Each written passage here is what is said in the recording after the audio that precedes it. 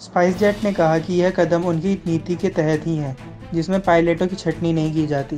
Airline ने corona virus महामारी के कठिन समय के दौरान भी इस नीति के तहत ही काम किया था। एयरलाइन कंपनी स्पाइस जेट ने मंगलवार को बताया कि अपने, उन्होंने 80 पायलट को तीन महीने के लिए बिना वेतन के छुट्टी पर भेज दिया है। कंपनी की तरफ़ से कहा गया कि विमान संचालन में आ रहे खर्च और औचित्यपूर्ण बनाने के लिए अस्थायी कदम उठाया गया है। बताया गया है कि जिन पायलटों को बिना वेतन के छुट्टी पर भेजा गया है, वे एयरलाइन कंपनी के बोइंग और बॉम्बर्डियन बेड़े से जुड़े हैं।